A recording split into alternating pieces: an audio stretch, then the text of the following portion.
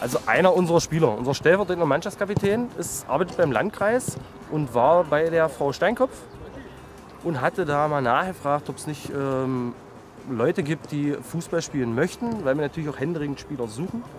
Auf jeden Fall sind äh, es acht Spieler gleich äh, vorrätig gewesen, laut Frau Steinkopf. Nach und nach sind dann welche gekommen. Es hat einfach mit zwei, vier, sechs, jetzt haben wir sieben. Ich warte noch auf den achten. Vielleicht ist das endlich die richtige Granate. Ja, die Jungs sind gut, sie sind lernwillig. Also mehr kann ich noch nicht sagen.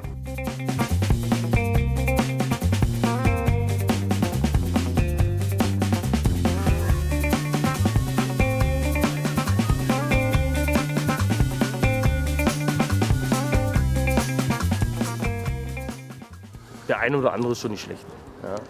Also ähm, wo sie halt wirklich, wo ich noch ein Problem sehe, ist, äh, dass sie gerne den Ball am Fußball halten ja, und auch gerne mit sich selber spielen.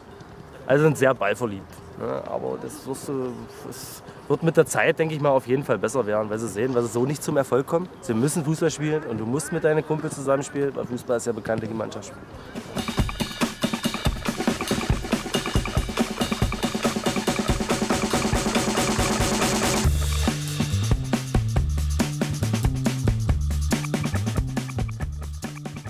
Ich habe bis jetzt keine negativen Sachen aus der Mannschaft gehört.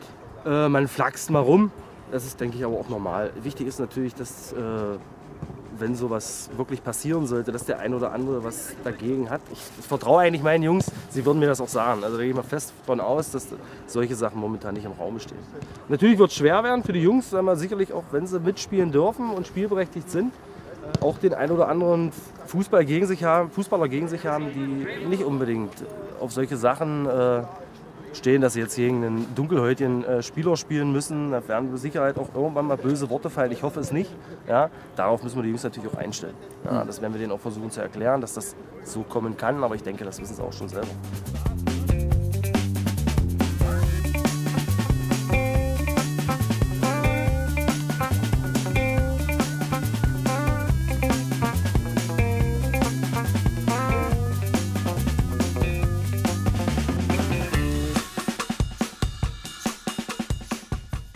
Bisschen Englisch aus der Schule kriege ich noch hin. Ja. Äh, Fußball, ja, also Football oder, oder ein Pass, das ist alles dasselbe. Das kriegt man wirklich hin. Die Jungs auch, die jetzt nicht unbedingt die Englischkenntnisse haben. Wir haben aber auch ein, zwei dabei, die das in der Schule momentan noch haben, weil sie relativ jung sind und noch in, äh, auf, dem, Gymnasium sind.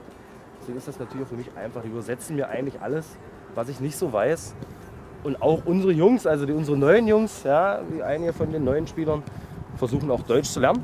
Ja, und dann kommt man mal so ins Gespräch und äh, übersetzt dann gleich ja, eins zu eins, was es denn heißt auf Englisch, damit ich das auch wieder weiß und sie wissen, dass es auf Deutsch ist.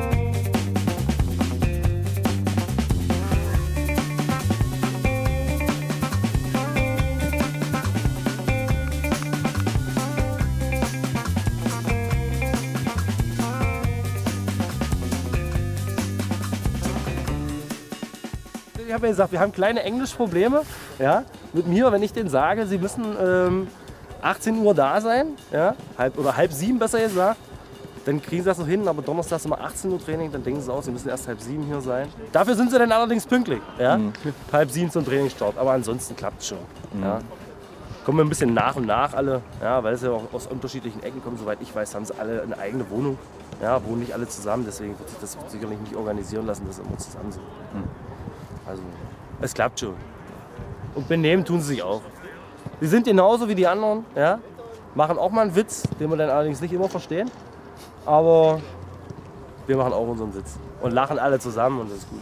Also wie gesagt, die Jungs haben Spaß, wir haben Spaß mit den Jungs und ich denke, das ist für alle eine gute Sache. Vor allem für uns Fußballer.